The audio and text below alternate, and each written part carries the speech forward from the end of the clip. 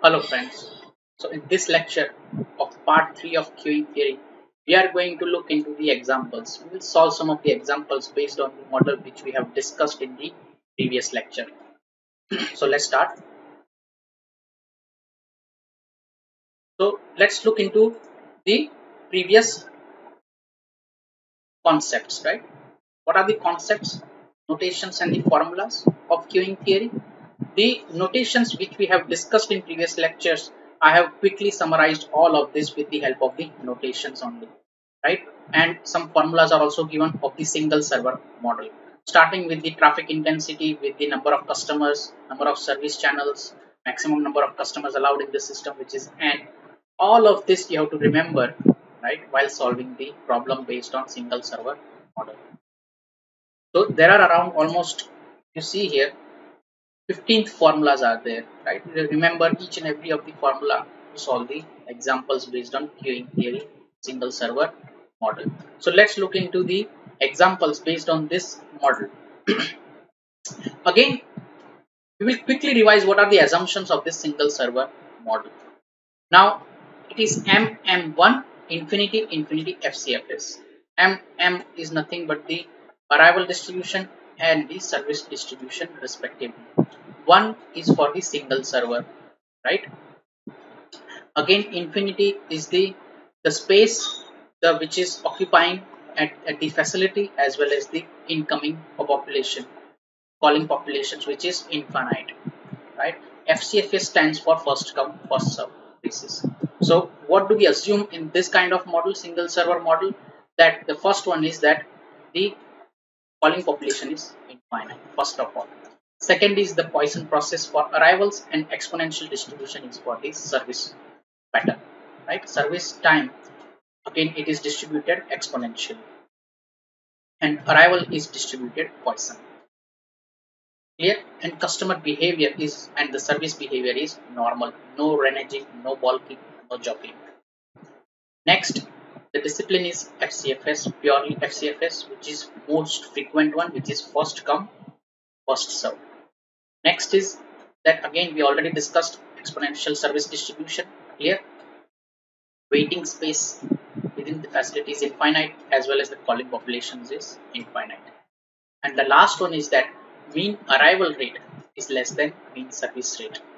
If it is other way around, if the arrival rate is more than the service rate, then the queue is unmanageable. Difficult to manage the queue. So beforehand, we assume that the arrival rate is less than the service rate so that we can easily model the problem. So let's start. so in first problem, a television repairman finds that the time spent on his jobs has an exponential distribution with mean of 30 minutes. Now here, time spent is given. And exponential distribution of service service rate distribution is given which is almost 30 minutes. Now if he repair sets in order in which they came in, the arrival arrival rate Poisson distribution is given here. Again the rate is given which is 10 per 8 hour. Now what is the repairman expected idle time each day it means that we have to find out the traffic intensity factor right after that we will find out the idle time. Because what is 1 minus the traffic intensity is nothing but the idle time. Or idle ratio what you can see the probability of idle time. How many jobs are ahead of the averages that is set just brought now let's start with the first. Uh, what is given here which is lambda which is 10 upon 8 which is 5 by 4 sets per hour. We will convert it to hourly basis. Clear? And the mu right mu is given the service rate is given which is equal to 2 sets per hour right obviously 30 minutes is the rate mean so what will be the mu it is 2 this per hour because we will be consistent here with the units right? so what, what is the traffic intensity factor? We again, instead of, we cannot, we, we can find out traffic intensity factor, but the idle time here, if you see for the 8 hour is, is equal to, you multiply with 8 and lambda upon v, which is the traffic intensity factor, which is coming out to be 5 hours. Right? Now this is, he will be busy for 5 hours. But in 8 hours day, if, it, if he is busy for 5 hours, the idle time will be 3 hours. Clear? That is what is given here. So that is the first answer. The second one is the average number of TV sets in the system. What are this the TV sets which are in the system? The formula is LS which is equal to lambda upon mu minus lambda. Just put down the values of lambda and mu and you will get the answer which is around approximate 2 TV sets which is in the system. In the system means they are waiting to be served or waiting to be repaired as well as they are repaired already. So it means that one is being repaired and was one is in the queue clear so in this way just by remembering the formulas based on the whatever criteria is given to be found out we can easily solve the problem. So that is the first problem. So what is the next one? A self-service store employs one cashier at a counter. So one cashier is there here. Arrival rate is given which is five minutes right on an average. And the service rate is given 10 customers in five minutes. The two things are already. Now, arrival rate distribution is Poisson exponential for the service. Now, we have to find out four things. First is system, average number of customers in the system. Second is average customer length, uh, queue length, you can say. Then the time customer spends in the system as well as the time customer have to wait before being served. So we will find out each and every case. So let's start with the given one. What is given?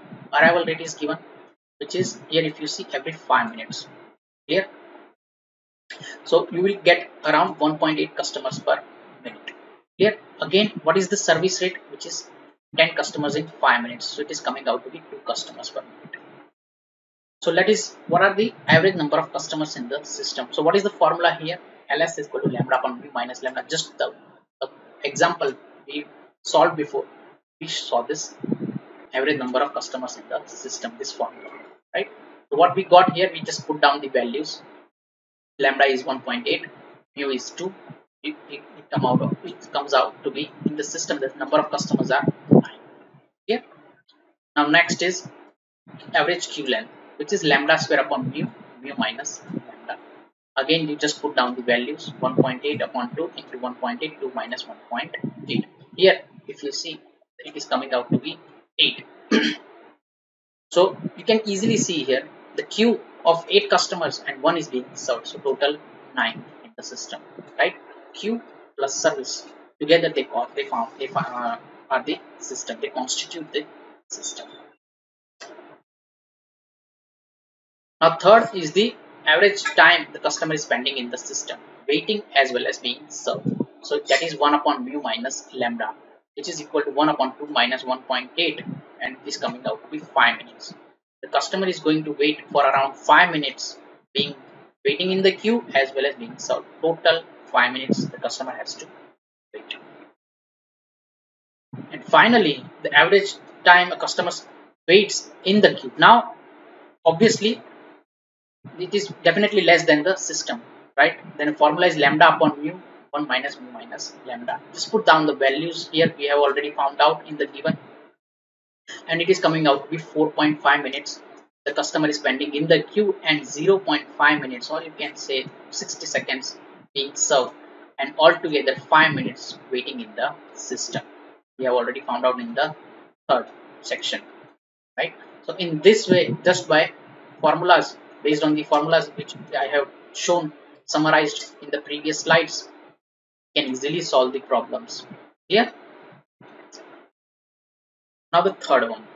Arrivals at a telephone booth are considered to be a Poisson.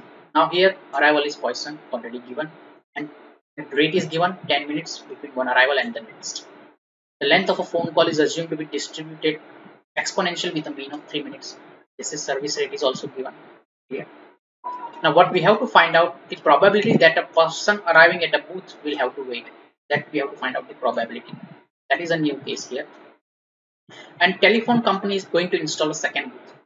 That is the new case where companies telephone companies are uh, planning right? They are planning to install a new booth but they have to convince that the arrival would be expected to be at least three minutes for the phone by how much should the flow arrivals increase in order to justify the setting of our second booth?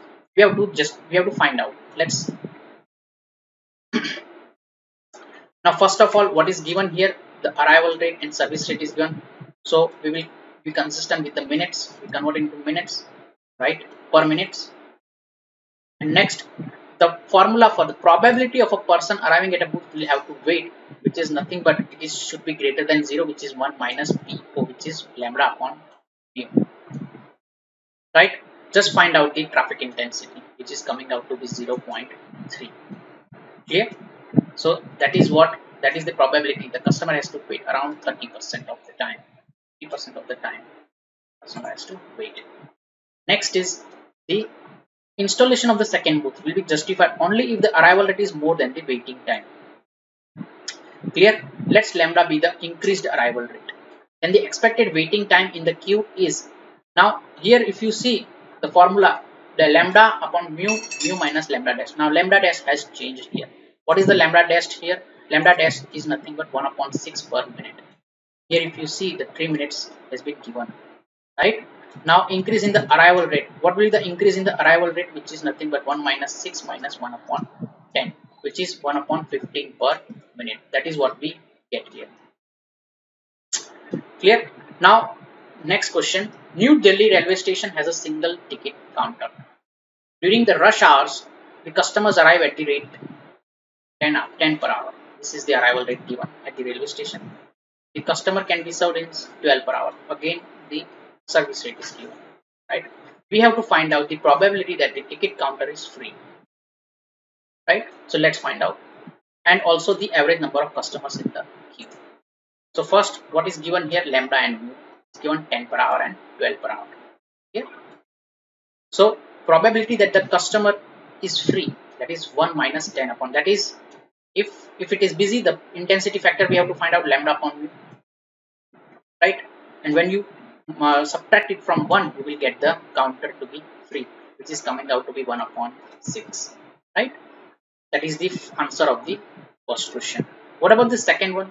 Average number of customers in the queue which is nothing but this formula 10 square 12 12 minus 10 what is 10 here? Lambda square upon mu lambda upon lambda minus oh sorry mu minus lambda.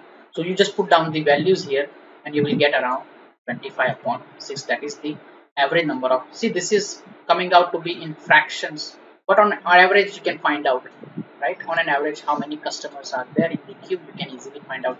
And here if you see around four to five customers are there which are average customers there in the queue they have to wait before being served here. So in this lecture in this way we have solved different examples based on the formulas of single server model right? These formulas will be helpful to you if you are solving the examples of single server model mm1 infinity infinity fcfs remember them and just apply them. Whatever is given to you. They can be tricky sometimes but if you understand the example correctly you can easily apply them and you can solve the problems so in this in next lecture we are going to start with a new chapter which is replacement theory so in this lecture, we will start, we will go with the basic concept of replacement and then we will try to solve different models. Around four to five models are there based on this theory. So we'll solve these models as well. So what we have learned in this lecture, we have different solved different examples based on single server model, right? And in next lecture, we are going to study about the replacement theory. Yeah. Till then, thank you very much. Goodbye.